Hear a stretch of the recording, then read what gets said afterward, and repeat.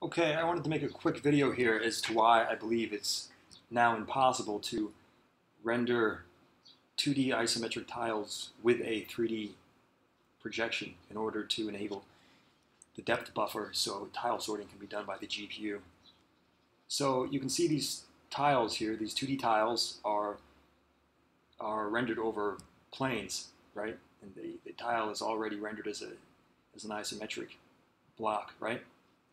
You can see here, this one is supposed to be on top, right? This is on top in Z, I guess, in, in world space, you would say, the one that I'm moving right now. And you can see when it moves back in Z in, in the OpenGL coordinates or Y in world space, it falls behind the plane and is then clipped by the one in front of it, when in fact this is supposed to be on top, right?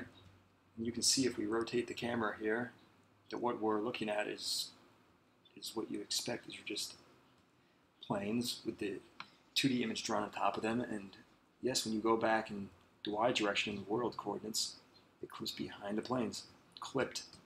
And this is, I think, an unretractable problem because the way these tiles have to be drawn so they overlap.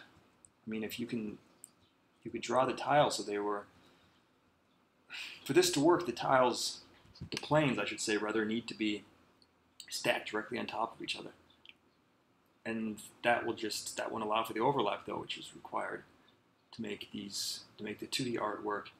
If you took that away, it would be you'd have to make actual tileable tiles. It'd be a huge mess. So yeah, I don't know. I think this is a this is a failed attempt. It almost works. It works for you could do this if you did not have uh, multiple levels, right?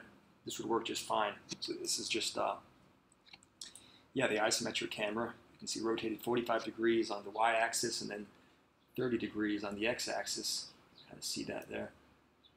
And then the uh, and then the actual planes are rotated 45 degrees, so they face the camera directly, and then uh, scaled height-wise a bit so that they fill up a perfect square shape.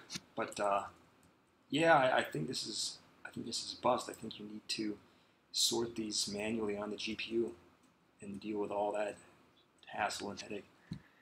Okay,